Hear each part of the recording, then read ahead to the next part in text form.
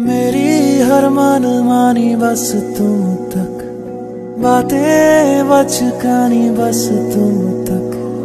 मेरी नज़र दीवानी, बस तुम तक।